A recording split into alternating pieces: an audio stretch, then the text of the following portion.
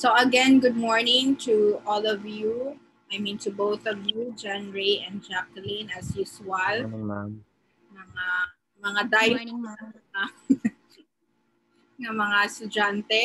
So last time we talked about the common terms in poultry management and also um, the breeds and varieties and strains. So usually um, last time, sorry John Ray, naputol imuhang ano, imuhang sharing. So can you continue your sharing now? Ikaw man to John Ray, no?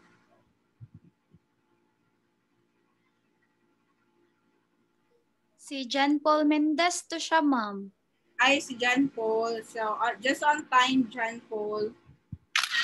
Can you share, akan, naputol mo ko yung sharing. Can you, can you share it again? John Paul, madungog ko ni mo. Wala pa po si John Paul, ma'am. So Hindi anyway, or anyway, any of you, chat siya. So anyway, any of you nga naamoy naamoy manok sa inyohang ano backyard or naka try na mo og um, mag manukan or mag-alaga lang og backyard chicken. Naka-try na mo? Ano, ma'am? Way back senior high school po.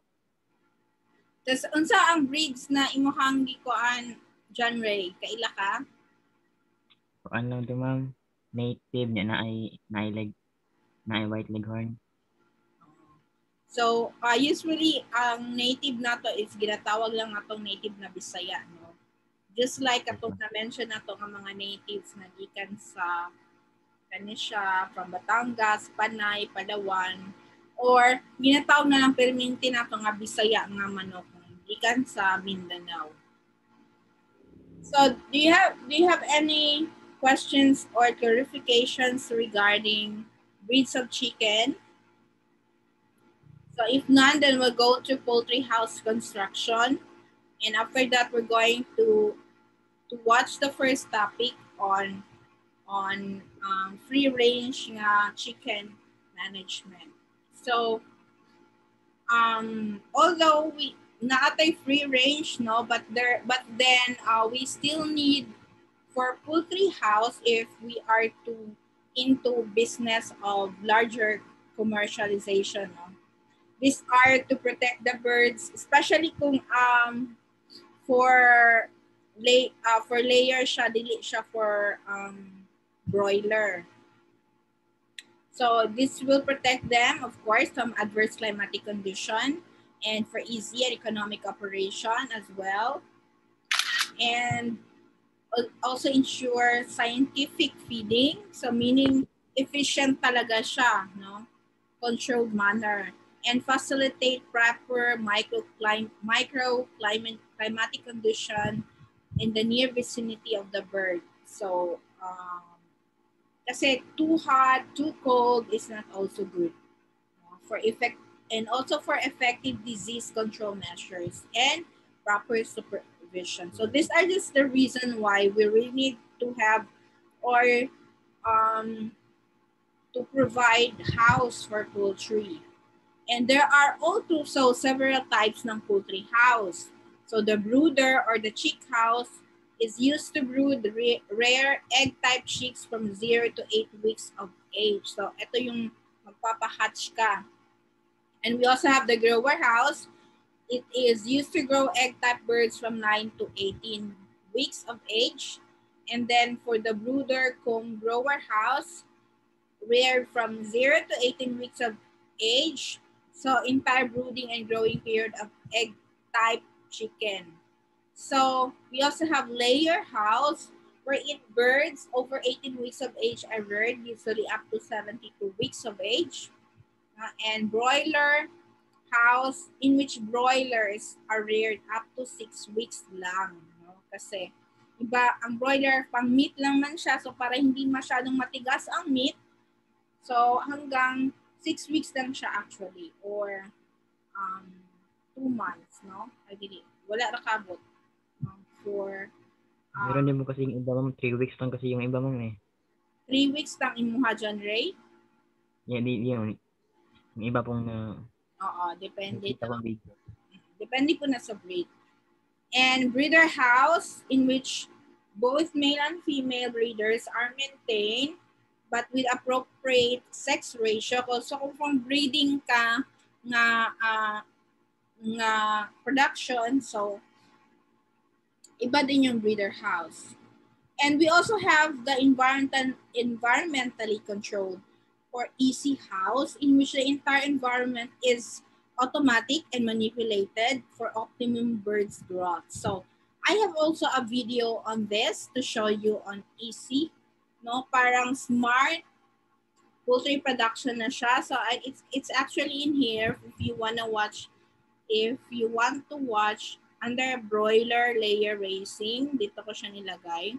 Ito yung um, layer chicken farming na ito na siya, ito na video. So, as in ma-amaze ka, no? Kasi, I don't know, I have not seen this one in the Philippines yet kasi um, not not before, no? Usually mga conventional is dili man kay siya automatic. But in Samoa, where where I worked for two years, no, I I've been to one. It's also one, the only one in Samoa. In this, uh, it's a country in South Pacific. So, ito, yun lang din ang kauna-unahan na nakita ko. But and it's even, uh, when I was there, hindi pa nga yun talaga fully operational.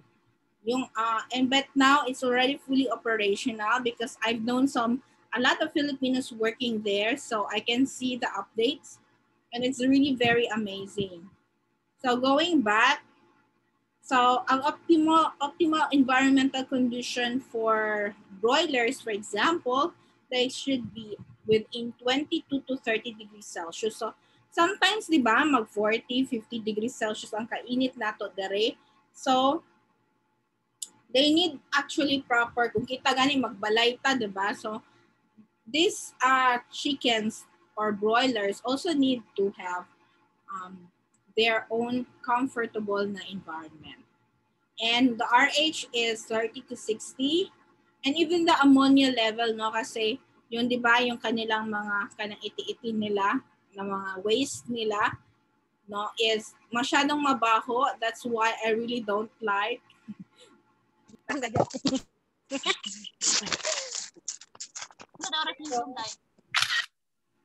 Pero but then um and they say sa, last time sa ano ninyo sa there are also ways in order to to lessen na the amoy no? And it's based on their feeds. And also when you mix the like first wine kanang utangan ninyo siya og katong mga house no para ma-mix ang baho or neutralize or yung uh, if you are going to um, incorporate ka ng carb carbon no or uh, about ano mo tawag yan? oxidated carbon what something like that so Calcium phosphate.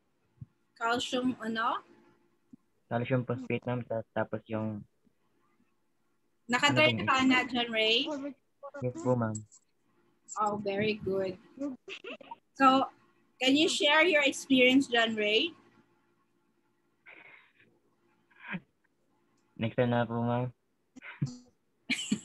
ah sige sige Ma- mahiyain pagyapon ka John Ray kita kita raman Sobra.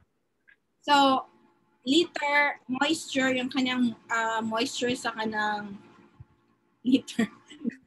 kanang moisture sa, di ba, sa kanyang waste. So, also, dapat minimum. No? Kasi it, it can cause actually, um, dahil sa baho, di ba, hindi lang siya, what do you call that, um, pollution sa, di ba, may tayong tinatawag na noise pollution and amoy pollution, sorry, I forgot the term. And the airflow also, no, should have at least, kasi have you seen na nga nagkadikit-dikit na nga mga manok? And it can be shown in the videos anyway. So, they also need an airflow. Kasi usually, in a, in a flock or yung, yung mga birds usually comes with a group. So how about the location should be, um,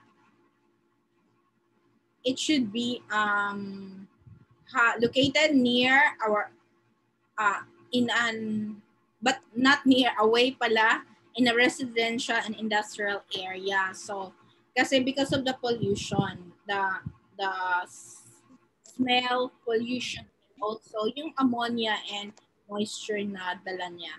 And should have road, of course, facilities, basic amenities like water and electricity, and labor or wages can be uh, can be cheaper.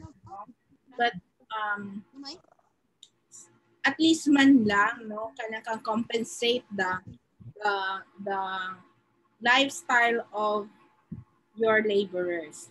And poultry house should be in an elevated area. Water lagging. Kasi can you imagine na lang, no? It should have proper ventilation also, yung air. And yung layout naman, there are few or basic principles to be observed. So the shed should be, have fresh air, and um, first passes through the brooder shed, followed by grower and layer shed. So meron siyang parang ang shed niya is merong um, system no from brooder, grower, and layer. And this will prevent the spread ng diseases from the layer houses to brooder house. So, uh, mostly sa mga sakit, yung mga maliliit sa brooder, hindi hindi na sila mata- mahawaan ng mga sakit ng mga matatanda na ng and minimum distance of 50 100 feet between chicken or shed is also one and there shed should be 100 meter. The egg store room or office room and feed store room should be near the end Kani si Helen no kasabaan di kayo ni. Joke lang Ellen. Ay Helen. So, this will minimize the movement of people around the poultry shed. Kasi sometimes sa people, it's either mahawaan nila yung ng virus ang mga chicken or sila ang mahawaan ng chicken. So, although hindi naman yan talaga nangyayari kasi uh, one rule is that but then there are cases that is happening. No?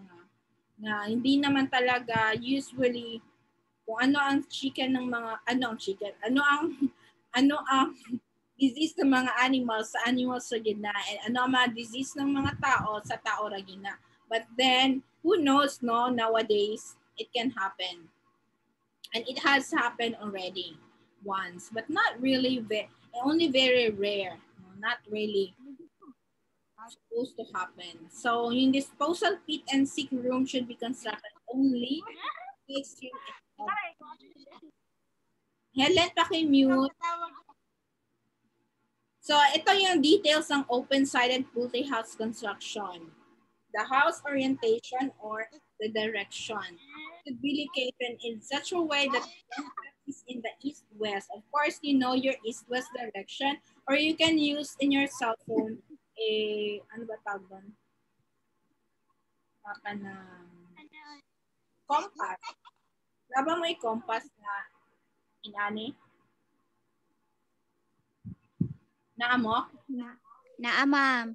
Okay, so you can use that to know exactly where where are you located exactly if you are like for me no I am in the um 340 350 degree north no, nasa north ako sa Tagum City kasi ako so so usually dapat located siya or facing east-west direction. And you know why? This will prevent the direct sunshine.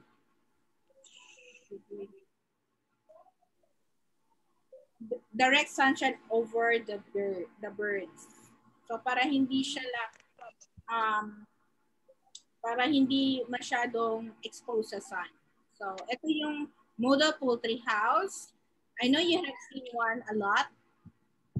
And the size consideration also requires two square feet, no, and but depends on the number of birds, of course. The length can also be, uh, depends on the number of birds. And also the width, no? usually 22 to 25 feet in order to allow ventilation, aeration, and um, maybe even 40 feet or more to, to uh, with the help ng exhaust fan. So yung height naman niya should be 6 to 7 feet uh, and the center 10 to 12 feet. So if naka-cage siya, depende din sa arrangement, whether three pile or four pile. And then the floor should be concrete with rat device. Kasi yung rat, uh, usually yun ang problema sa mga chicks no, or brooder. And free from dampness and should be extended 1.5 outside the wall and outside to prevent na rat and snake problems. Ito yung mga problema for, for chicks and chickens. And the door, of course, must be deep litter turtle houses, uh, must be open outside. The size is preferably 6 by 2.5 feet at the entry. Dapat merong foot bath. So, of course, you know, foot bath, yung disinfectant na um, imuhang tumban, no? Kumusulod ka sa door. And fill with disinfectant. So side walls should be 1 to 1.5 feet height and generally at the level of the bird's back height. And this side, the side wall should able to protect the bird during rainy days, hindi yung matuluan or chill climate kung inaka sa winter, and also provide sufficient ventilation. So But kung naka-cage house siya, no side wall is needed. So the roof type may also have different designs, no? This may be thatch, tiled, or made up of asbestos or concrete one depending on the cost, no, na kaya mo. So ito yung shed type, the gable type, uh, monitor type, meron ding half monitor or full monitor. Ito yung full monitor and the Gumbrel, the Gothic, and the half, ito yung half monitor. So, yon. And overhang or the the roof should not be less than 3.5 feet in order to prevent the entry naman ng rain into the shed. So, um, for the systems of poultry housing, we're gonna take our time because we have a lot of time pa. So, we will continue that next meeting. And we're going to start with the um, management ng free-range chickens. Farming part one. Okay.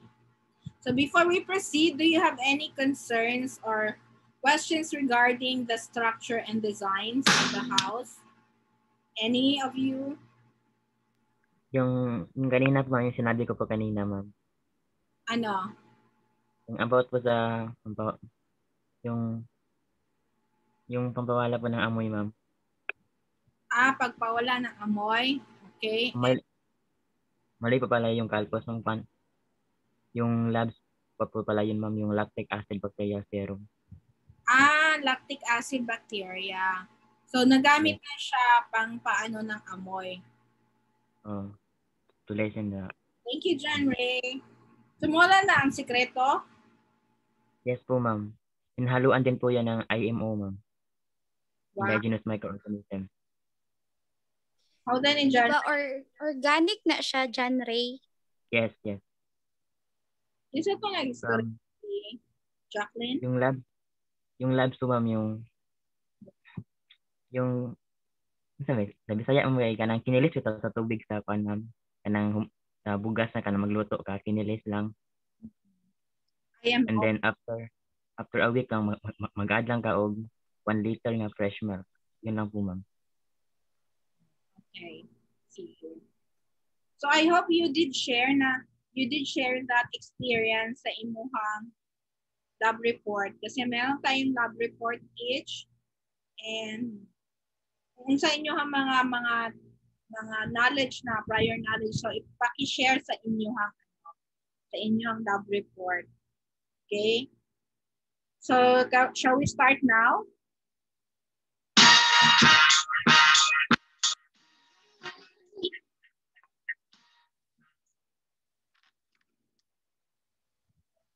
Hi Kabukid! In this video, I'll be featuring the Furious Chicken as requested by one of our supporter, Kuya Idel. There are certain chicken breeds far better than the others when chickens are allowed to free range. The selection criteria includes predator awareness,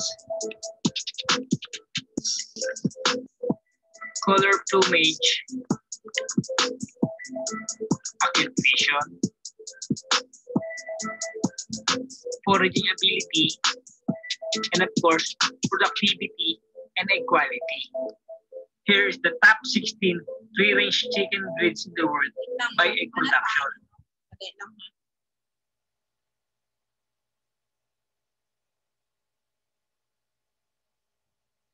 Manay gid ta ani. Wait lang, sorry.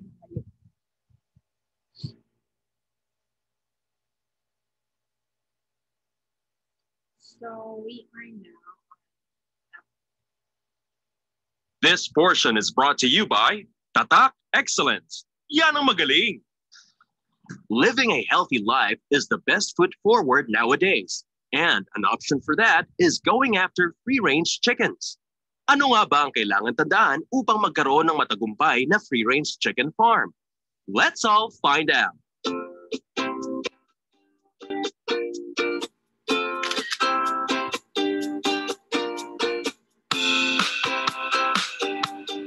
Para sa housing ng ating mga free-range chickens, kailangang patag ang area kung saan itatayo ang bahay. Kinakailangan din na shaded ang lugar upang makabawas ito sa init ng panahon. Dapat elevated ang housing para mabigyan ng sapat na hangin ang bawat manok sa loob ng bahay. Gumamit ng materyales na available sa inyong lugar tulad ng pawid at kawayan.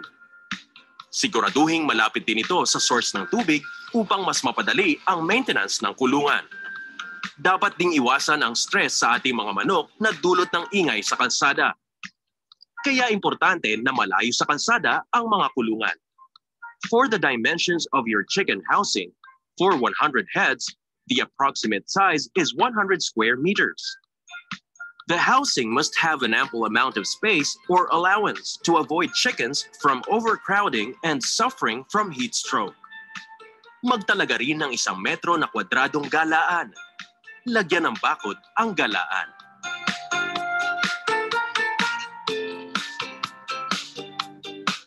Para sa mga bagong silang na mga sisiw, maaring ma-incubate ang mga ito gamit ang gas brooder, charcoal brooder, at incandescent bulb brooder. Ang pag incubate ng mga sisiw ay ginagawa sa unang araw ng kanilang hatching hanggang sa 15 to 20 days old ang mga ito. Artificial incubators are used at night and also at dawn. Maaari rin itong gamitin tuwing may bagyo o malamig ang panahon upang mapanatiling mainit ang katawan ng mga sisiw. Ang incubation period nito ay 21 days.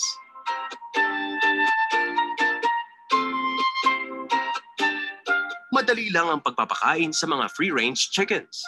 Hindi ito komplikadong proseso. Ang oras ng pakain sa mga manok ay umaga at hapon.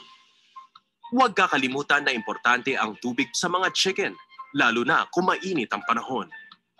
Importante ang tamang ratio ng feeders at drinkers para mabigyan ng sapat na pagkain at tubig ang bawat manok. Ang isang feeder is capable of feeding 20 to 25 chicks. Ang isang drinker that is equal to 1 half gallon can provide water to 10 chicks habang ang 1 gallon naman ay para sa 15 to 20 chicks. Once they reach maturity, the feeder remains the same but the water dispenser changes. For chickens, planganita is used. Ito ay may harang upang ma-prevent ang paglangoy ng mga manok sa kanilang inuman. Tandaan din na may tamang feeds para sa mga sisiw at sa bawat edad na mga ito. Para sa mga 1 to 21 days old, pinapakain sila ng chick booster. Para sa may edad na 21 to 49 days, chick starter ang para sa kanila. At para sa mature age of 50 to 84 days, broiler finish o mais ang pinapakain sa kanila. Ang tamang pagsunod sa nakasaad na feeds ay nakatutulong sa maganda at mabilis na paglaki ng ating mga free-range chickens.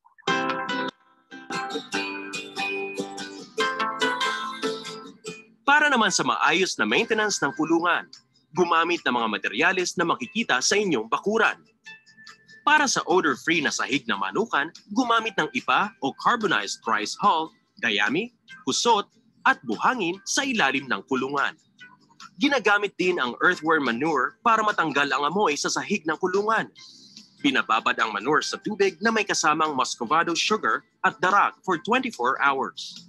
Dahil dito, dumadami ang microorganisms ng earthworm manure na nagsisilbing deodorizer upang pugsain ang amoy mula sa dumi ng mga manok. Palaging bantayan ang kulungan.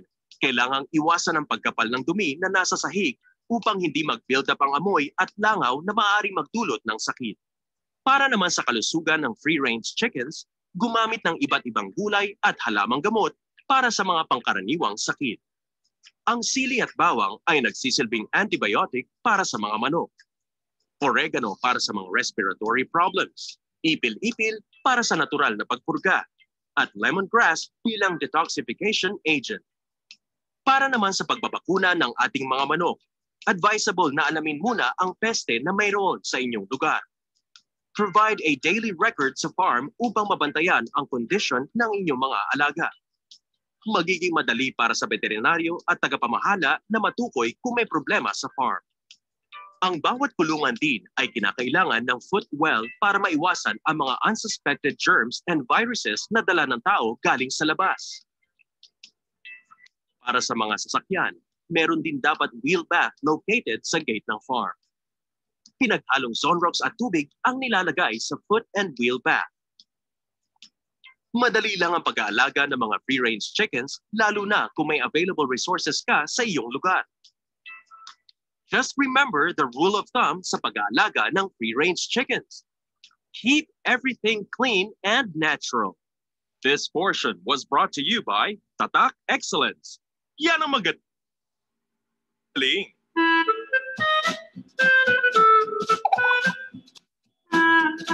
Walang gana. Posible mangyari. Sa limang kutsarita ng biig protina sa bawat isang kilo para sa biig. Tatlo hanggang apat na kutsarita para naman sa inahin. Siguradong baboy ay biig sa katawan, biig pa sa kalusugan. Ang Big Proteina ay isang feed powder supplement na naglalaman ng So, I guess that's it no for the free range production. Ano po? So, um, do you have any, so lahat ng na-mention na nakita ninyo sa video. No? So, do you have any questions or clarifications regarding the video presented? Wala naman po, ma'am. Okay, so going back here, so the systems ng poultry housing, uh, we still have time anyway. So the poultry can be housed under different system.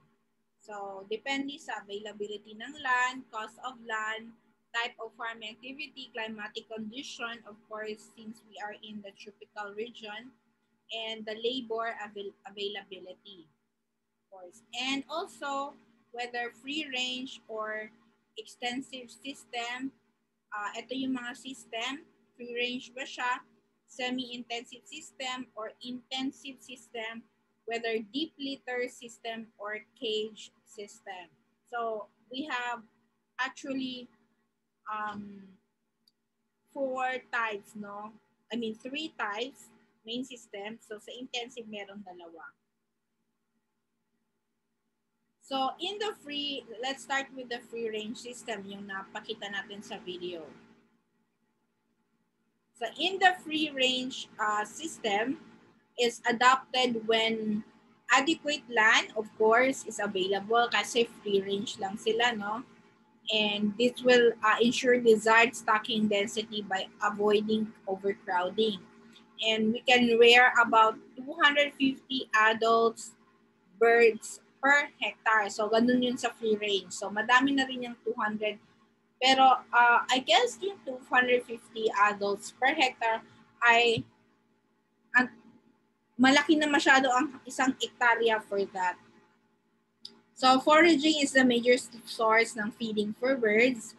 And the shelter is usually provided only by temporary roofing, supported by ordinary poles. So, this system is preferred for most organic egg production. So, kung mag-organic ka, free range yun na siya. Or, kasi, um, it's not definite noon, but um, if naka 1 hectare to cater more than 250 birds, so that's better for organic. Ang advantage nito is less capital investment kasi you don't need for a conventional na na cages or housing. And cost of housing is very minimal. The feed requirements also are lessened because they are for forage or yung feed nila ay galing grassland. And the fertility also of the soil is maintained by their waste, no? Kasi maski asa naman sila ma mangiti. However, the disadvantages is that the scientific management practices cannot be adapted kasi like yung automatic.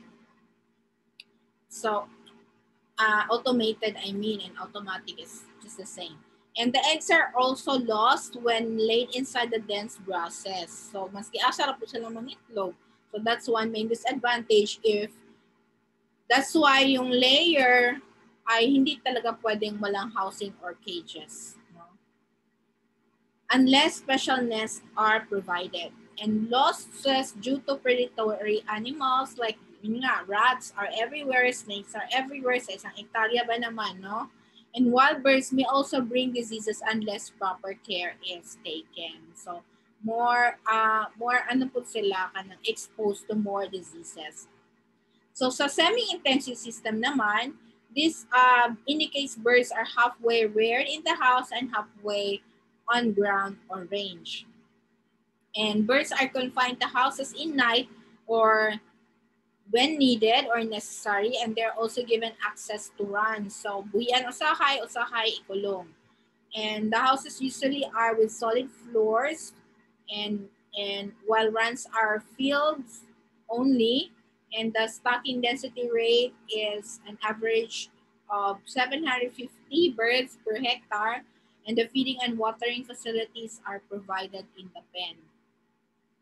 So sa semi-intensive, medyo madami ang birds no kumpara sa sa free range na 250 siya. But actually, for me, it uh it can for a hectare no, it can cater more.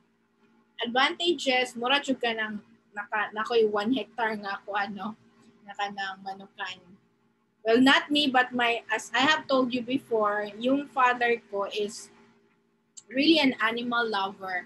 So, pinanganak kasi siya na nasa nasa farm talaga kaya kahit na he's into um kaya kahit nasa DepEd siya parang way of life na talaga niya yung mga manok, yung mga baboy, even baka no and syempre dahil Ilocano siya favorite niya ang kambing. So going back to the advantages, uh, more economic economical use of land compared sa free range system kasi uh, sometimes if you're going to plant, make use of your 1 hectare. Pero kung halimbawa naman, meron kang 1,000 hectares or 50 hectares, no? Ang dami niya, no? Aanhin mo pa yung iba. Eh di, sa ano na lang yan? Sa mga manok mo. So, But then if you have limited land, so mas economic no kung mag-semi-intensive ka. And protection ng birds from extreme climatic condition also. And ang bawa, masyadong maulan, so tag-adlaw na lang ulan no or mag ano La Nina na. So kailangan i-cage naman sila sometimes. And control over scientific operation is some extent possible. No? So halimbawa na kay i-experiment sa ilahang uh, ano whether organic or conventional ways. So pwede under under intensive. However, yung disadvantages niya ay high cost for fencing and need for routine cleaning and removal of litter material from the pen. And for the intensive system naman, totally confined talaga sa houses, either on ground floor or on wire netting, floor in cages or on slots. And it is the most efficient, convenient, and economical system for modern product, poultry production with huge numbers. So ang advantages niya, minimum land is required for farming. So minimum lang, farms can, kung meron lang ka, meron ka lang 100 square meter, pwede na yan. No? Farms can be located near market area kasi konti man lang, hindi masyadong pollution. Day-to-day management, it's also easier kasi mali, uh, nasa cage silang lahat. And the production performance is also a higher as more energy saved due, due to restricted movement. So kung nakakulong sila, yung energy nila is for more, more tataba sila. No? Not really fatty but meaty. And then scientific management, uh, like breeding, feeding, medication, culling, can be applied easily and accurately if they are in one cage. And then the sick birds can be detected, isolated, and treated immediately. While the disadvantages are yung welfare naman ng birds, no, kanilang emotional impact is affected. They cannot perform the natural behavior like roosting, spreading wings, no? Uh, even, uh, maski din na sila maka-fly, but sometimes they also fly yung minimal lang. Scratching the floor with legs is very important for their social activities also. And they, if they are not exposed to outside sunlight and feed sources, all the nutrients should be provided in balanced manner to avoid nutritionally deficient diseases and chances for spreading of diseases are also more no, in this. So for the deep litter system, we will continue next week because it's uh, less than a minute only. No, but this is, I guess, yeah, we still have a cage system and the types of cages. So we will continue this next meeting. Grower cage,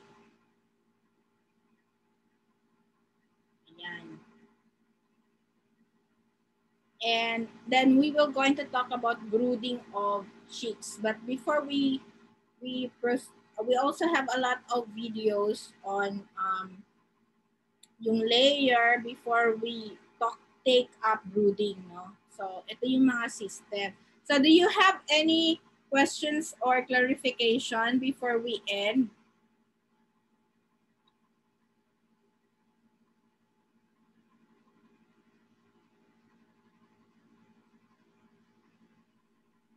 Jacqueline.